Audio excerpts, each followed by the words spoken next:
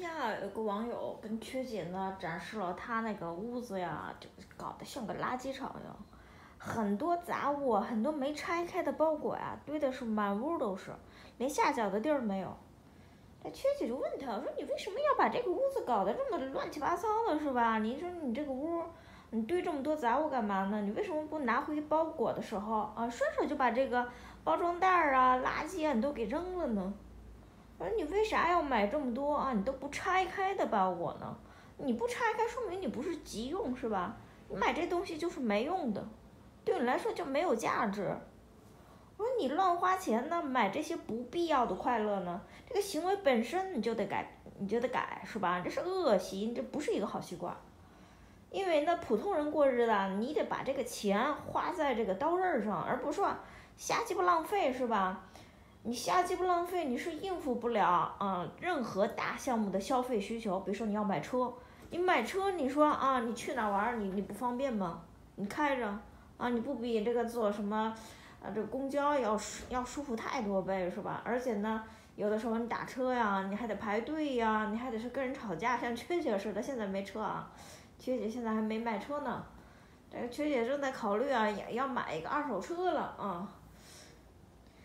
说这样的话，你要是没有手头没有这个现金，那你要是攒不下钱，你可不就买不起？你就你就说，哎呀，反正我赚的钱少，那跟你们讲，就积少成多。你不要小看你现在赚钱少，你就赚钱少，你每个月你存一笔存一笔，啊，你你时间长了也是非常可观的，也是能攒下一个买车的钱的。你买不了一手的，难道还买不了二手的吗？你买一个好看的，啊，特别。适合女人开的，比如说菲亚特五百 C，这个型号这车非常好。呃，缺姐可能大概率要下一个车要买这个车。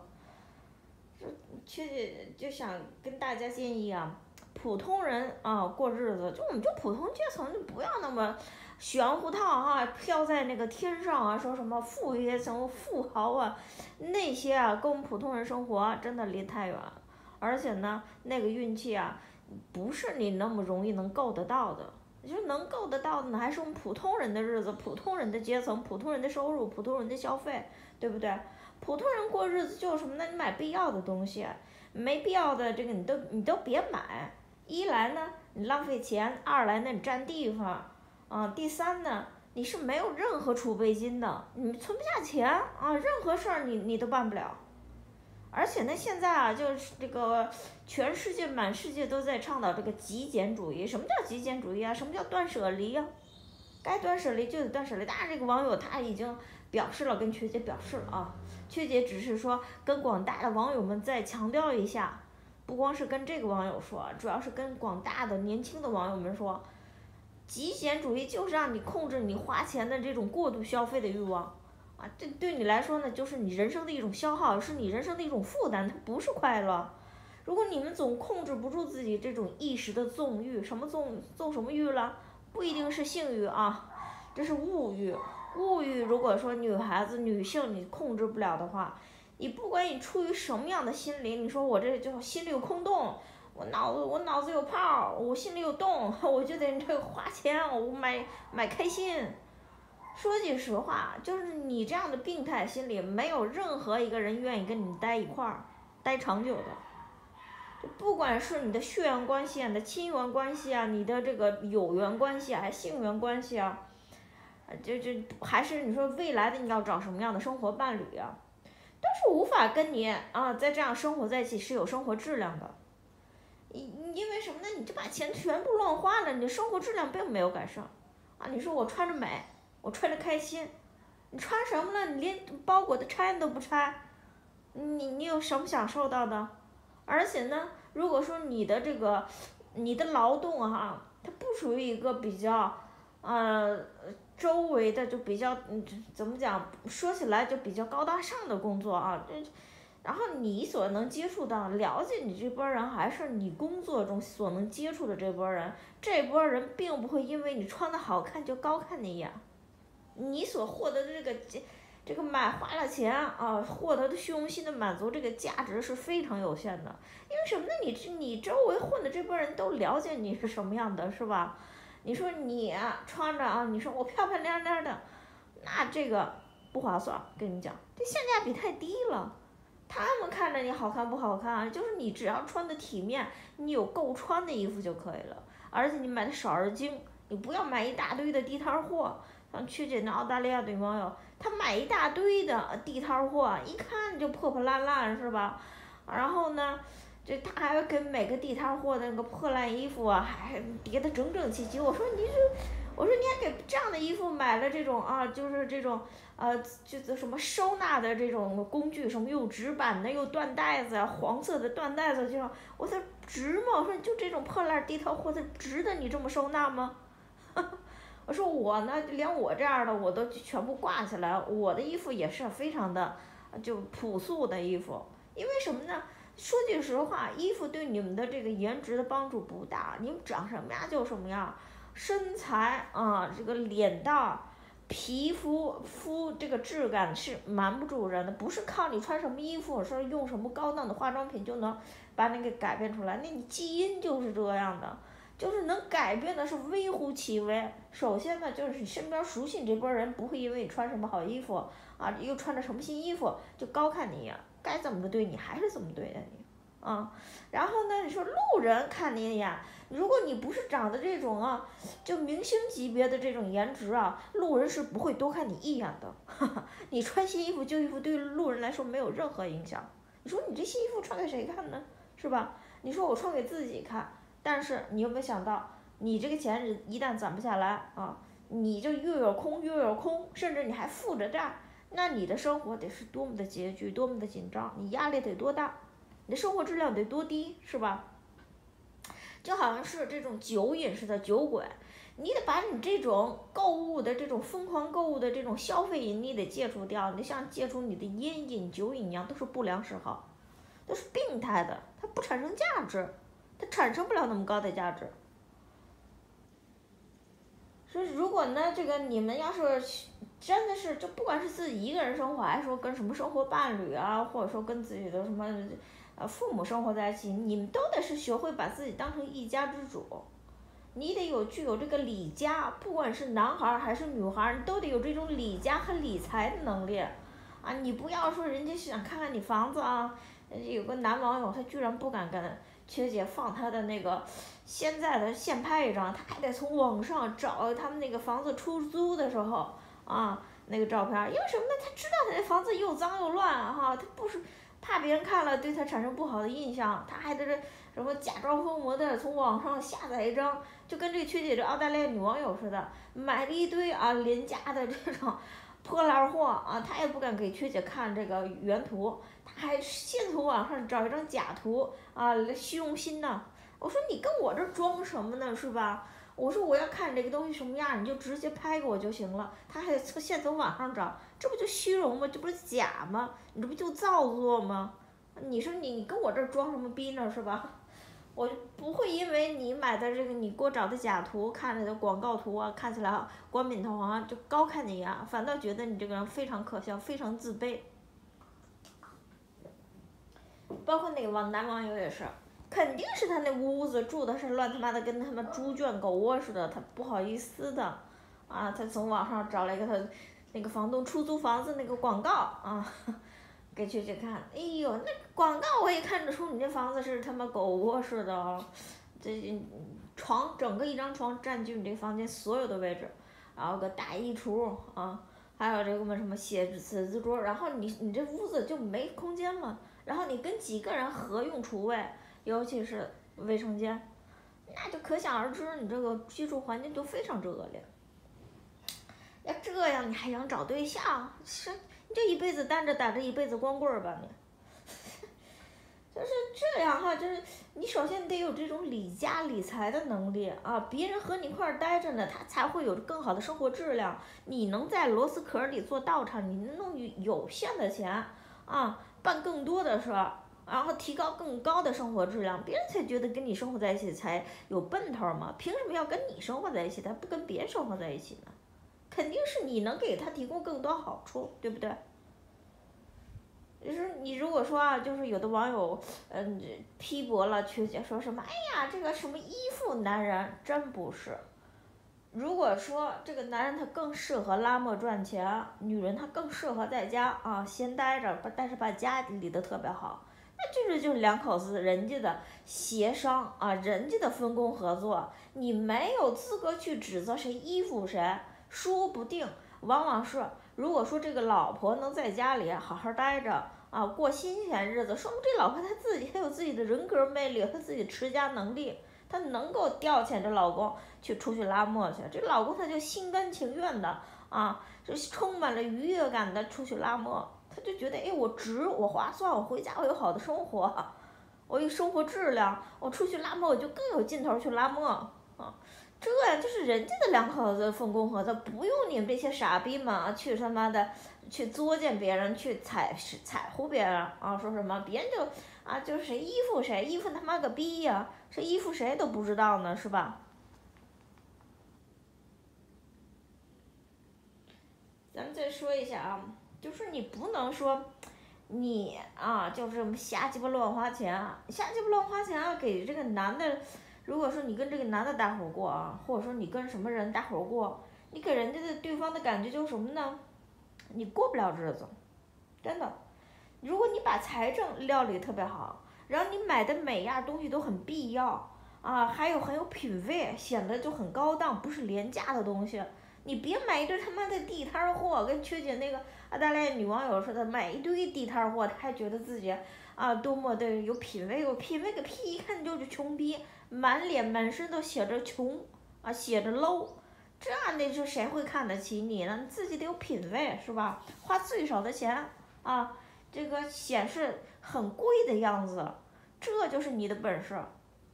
什么叫螺丝壳里做道场？这就是你的本事，这就是你的生活智慧啊。然后呢，这个家里呢又整洁又有序，是吧？你让人舒心，待着舒心，你有下脚的地儿，那别人才会愿意待跟你待这一块儿呢。你说凭啥人家愿意给你拉磨呢？是吧？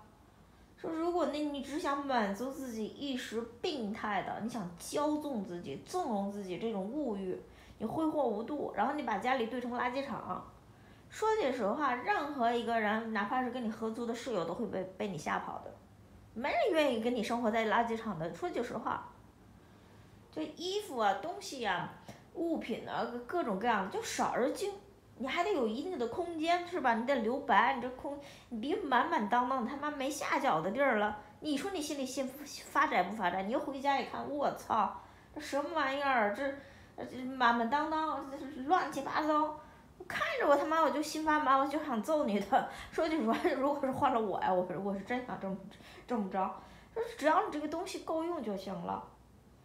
就是如果说这个网友听着缺姐的这个广播啊，这一期广播就是你们代入你们自己是男的，如你们在外边啊辛苦工作一天回到家，啊家里呢到处都是杂物，乱的要死，没下脚的地儿啊，到处都磨磨唧唧，油脂麻花，饭菜呢也没做啊，也没有可口的，没有一口可以吃。打开冰箱，冰箱很多食物竟然在在发霉，在发烂啊，在流黄水儿，流臭水儿，然后呢？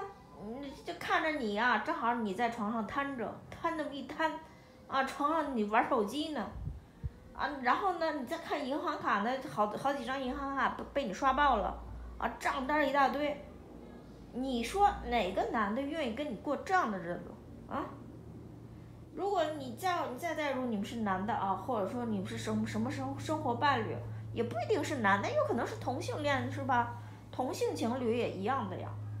生活伴侣嘛，就是你回到家啊，你的另一半儿，你的另一半儿生活伴侣把这个家打理的是干干净净、清清爽爽，一下班就有可口的啊，这个热乎的饭菜，是是符合自己口味的，然后呢，嗯，就床上什么的，家里任何都干干净净、清清爽爽的，啊，东西物品全规制的井井有条，啊，你闭着眼睛，哪怕他黑灯瞎火，他也能。啊，摸着摸得到这个地方，他知摸得到这个东西，他知道在哪儿。然后呢，你你这个另外一个生活伴侣，就是跟你在家里待着的生活伴侣，他买的每样东西呢，都是性价比最高的，货比三家的，然后品味呀，就各方面还恰到好处，是吧？还体现着有生活情调，体现着生活品味。啊，一回到家呢，就让你放松，啊，让你感到安逸，让你感到松弛。然后哪怕有账单呢，也不会让你感到有压力，是吧？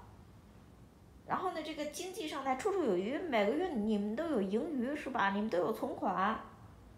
这然后你说，如果说这个生活伴侣就出去拉磨的生活伴侣会不会想，哎呦我这，我这口子呀，嗯这这个真的是不错，很会理家啊，给我提供的这个家呢，这是很温暖，很温馨，啊有很好的服务，让我很很的充分的放松和充电了。然后我我在家里我心情又愉悦，那我就会想，我想给我这一半儿啊，就这这口子呀提供更好的生活，让他生活的更轻松啊。他就好好的把家给我料理好了就行了，你说是不是？就是只要是他有良心的男的，他是不是这么想？说句实话，就是说，如果说呢，你们真的不喜欢啊，就出去拉磨去，不愿意心累，不愿意身体累，身心俱疲，缺姐在职场打拼那是知道的。你知道每次以前缺姐是上班的时候，每次回到家，在家里干嘛呢？什么都不干，既不洗 洗澡，也不起来玩手机，干嘛呢？就坐在那个椅子上发呆半个小时，就累成这样，是一动都不想动，就动不了，就在那个椅子上坐在那儿啊，冻就好像是被冻在那儿了，一动不动的半个小时，缓口气儿，喘口气儿，你才能把这口气儿喘过来，然后你才有力气去洗澡洗头。你说这样的日子，你是你是不身心俱疲吗？就这种啊，就是你这种打工，你既然是觉得自己很累啊，你不适合，你或者你不喜欢，有另一方呢，他觉得他适合，他喜欢，谁适合拉磨谁就去拉磨，是吧？谁适合在家里待着，谁就在家里待着。然后你相对于就是女的来说呢，在这世界上。啊，这个职场上他打拼的这个辛苦程度要比男的要辛苦很多倍，但是功劳不归女的所有。缺姐就明白着告诉你们吧，很多女的做了一辈子，她也只是在基层岗位上，啊，然后呢，男的什么连磨他妈的都没拉啊，居然把这个头衔、这功劳、这个成绩给了男的。你说这这因为什么呢？男的可以陪着男领导啊去嫖娼。去喝酒，给男领导挡酒，就人家就能干这事儿。你说你女的你也能拍马屁，你能这带着领导去嫖娼吗？你能给领导去挡酒吗？你不能啊！你挡酒很可能把你自个儿撂倒在那儿，你很可能就是，啊，被这些畜生们给糟践了。哼，这就是职场，就这么残酷。我跟你们讲，嗯，你甭说哪个国家职场。你比如说在金融圈那多的是女的，就这些女的这个金融人士，你不要看他们穿的人模狗样，他们有可能就在办公室里面啊，跟着什么男上司啊，就进行着这种啪啪啪的啊性交易，啊，或者说在什么下了班去什么酒吧，啊去放松自己。其实啊女的你就不要在这个工作场合之外，你再跟这些男的。这些职场上的人再去进行联系，你到这个这种环境里就是他们的性资源，就是免费的性资源，他们不会给你提供任何资源。跟你们讲，很多女的年轻女孩是不懂的，就说如果说你真的是觉得心累啊，这世界太残酷，那你要干嘛呢？那你就在在在家，你说你在家好好待着，你就好好待着呗，是吧？你在家里打理这点家务，就是你所付出的辛苦心血，远远比你们啊出去职场打拼去。其实一直不赞同豆瓣儿那些傻逼伪女权，真的是伪女权。说哎呦，职场打拼比这个家里做家务要轻松很多倍。家务有什么可做的？现在我跟你们讲，扫地有扫地机器人，做饭有电饭煲，有自动炒菜锅，啊有蒸饭的。什么没有？有烤箱，有蒸饭的，有的这个微波炉，什么没有？什么电器没有？啊，洗衣机有全自动的，可带烘干功能的，还有什么可做的家务？唯一的就是你这个理家，你作为管管家的这个能力，然后你理财的这个能力，这需要动脑子。如果说你家里有绿化，像崔姐以前在另外一个国家有五千平米的这 草地，哎呦，那个几百这个米的。这个树篱笆几百米啊，那你想想，这有几十棵树，几十棵树那疯长，那树枝条长到这，就就就垂到半山腰，不垂到你半腰那儿，你可不就得修剪，那才叫累呢。那种活才累。如果说你要是买个公寓是吧，你没有那么多活儿去干，有那么多机器，你说你还有什么家务呢？你就是好好理家。购物啊，你把这个家像个管家，你有个组织管理能力，有个理财的能力，然后呢，你做几项这个，下了几次正确的这个财务决定，都是你下对了，你别下错了，是吧？投资失败，那可不就败家的。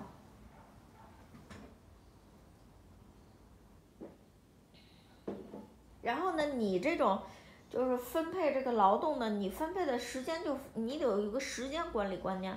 你像曲姐老公啊，我们家里的那个草地啊，就是一一个礼拜必须得理一次，修剪一次；树篱笆一个月至少得修剪一次。那个野玫瑰啊，长得特别快。呃，我老公不愿意，我老公他总想攒着，他要积攒着这个劳动量。那积攒着劳动量，去就今天还跟他说呢，我说啊。你积攒起来的劳动量看起来只是三倍，可是实际干起来呢是三十倍，而且呢还浪费机器，尤其是啊那个剪草机的那个皮带，就是那个转子那个皮带，换一条，只要是你这个草地又湿又高，啊，它就它就很容易就扑噜扑噜噜就冒烟啊，那个胶皮就秃噜了，秃了你就得换，就得买新的，买新的一根儿是三十欧，你可不又费钱又费时。又费力气，你还得修理这个机器。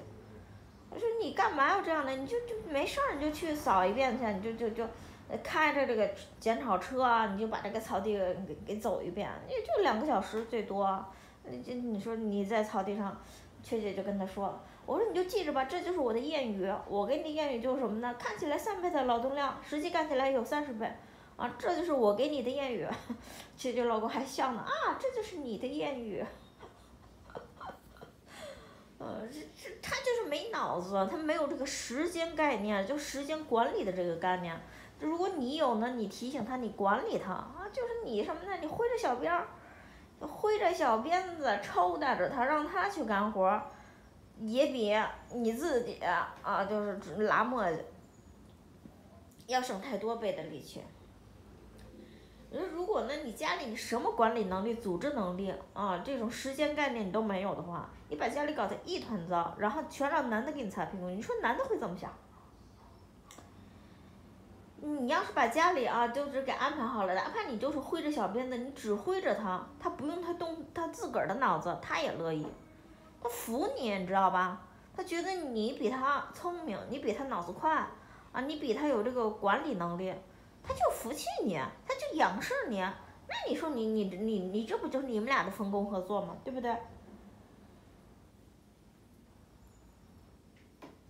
就是任何人呢，就是你想和其他的人生活在一起，人是不可能说这人就是个群一个群居动物，人不可能说脱离这个世界，这一个人生活独居一辈子，你独居一辈子很痛苦的，是非常痛苦的，跟你们讲。就只能说是偶尔的独居一下是可以的，时不时的就得有个人来陪着你，这就是人人的天性就这样，你不要违背人的天性是吧？就是不管跟什么人生活在一起，你都得是什么呢？让你和对方都觉得自己啊这个生活质量比以前好很多，啊都觉得自己占到便宜了，只有双方都觉得自己占到便宜了。啊，你和这个对方不管是什么样的关系，哪怕是你和你妈、你爸，你也得是这样，然后你们才能把这个共同生活维持下去。这就是夫妻双方啊，或者说是你和你父母双方达成的这种契约协议、分工合作，这就人和人的相处之道啊，对不对？就相当于你们和这个外界那些什么闲七杂八的那些人的相处啊，什么职场上那些臭傻逼的相处啊，你还是简单，啊，你还是这个，要要感觉又容易又简单又又有信任感，对不对？你跟职场能有什么信任感呢？那互相都是狼，他们都想这环伺四周都是想吃掉你的。至少呢，就哪怕你父母，你跟他们生活不到一块儿去啊，是吧？实在是因为什么？呢？父母不是你选的，你父母很可能是伤害你长大的，啊，你带着这，你没办法改变你父母，那你他妈你你离开父母，你可以选择个生活让你感觉生活舒服的这个生活伴侣，你不要让这个生活伴侣纵容你这种不良的恶习、病态的这种心理、病态的嗜好、病态的这个消费习惯。这样的话，你不会把日子过好的，你只会越过越糟。然后你这个跟你生活在一块儿的这个人也不会看得起你，因为他觉得跟你生活在一起，生活质量没提高，反倒是被你拉低了。他怎么会喜欢你？他怎么会愿意和你生活在一起？他怎么愿意在你身上投入成本呢？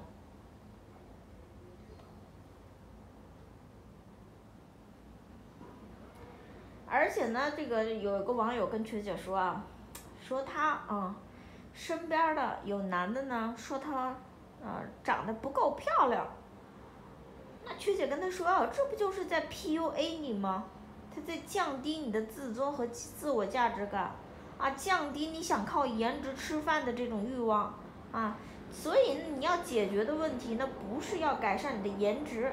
首先呢，你想提高你的颜值啊，说整个这个整个那个的，哦，我买什么样的霜啊，面霜啊。说这成本太高，其次呢效果太少，效果太太慢太低，基本上是没什么效果。你基因什么样就什么样，就就你能改变的是非常微乎其微，顶多你能减肥，啊，就减肥这是唯一你能做的，其他的你又不能使自己变高，你又不可能使自己突然就变白啊，就突然就就这小眼睛变成大眼睛，而且呢就是你说拉个双眼皮儿，基本上都能被人看得出来是非常丑的。啊，那个刀疤，看起来就好像他妈出出现什么这个问题的，没有几个拉出来好看的，除非你说，但是这个价钱太贵了，做整容手术，这个费用太高了，真的不是我们普通人应该做的。而且呢，如果说你周围的这个男的呢，他不是一个有赚钱能力的，他就是一个穷逼，他就是个废物，是吧？你说你美啊？你说你的颜值高不高？对他来说都没有什么实际价值。其实穷逼废物来说，他不在乎女的美不美，他只在乎女的实用不实用。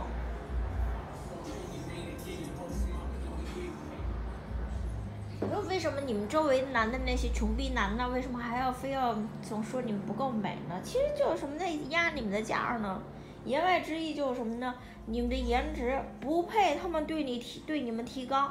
他们对你给你的这个待遇，就就告诉你降低你的心理期待，就是凭你的这个颜值呢，你就不配让提高你的待遇，让让我啊给你更好的待遇，这就是他们的心理，他们的目的。就是如果是女的，我们普通人家女的啊，提供颜值，提高颜值，仅仅对富人家有那么一点用。还得是这富人家呢是已经信任你了，已经是认可你了，他愿意纵容你花他的钱提高你的颜值，那是另外一回事儿。但是你要对着那种狗屁不是的啊，那种穷逼废物、穷屌丝，你说你提高你的颜值不会改善他对你的待遇的，真的。如果他连养你都养不起，就这种废物男啊，你就。这个这这咱们话说回来啊，这种废物男的、穷屌丝男的，他本人做再多的家务，对你来说也没什么价值，会可以说这价值非常之低。说你们也不要把男的这种穷屌丝啊，会炒几个菜、会做点家务当成多有价值的事儿。这个一个男的来说啊，最必须做的不是家务，而是什么呢？他得赚钱，他得给你拉磨去，知道吧？就男的做家务，他但是他不能赚钱是没有价值的。女的呀，如果你对着穷屌子啊，提高自己的颜值也是没有价值的。我跟你们讲，这都是属于都在做无用功，知道吧？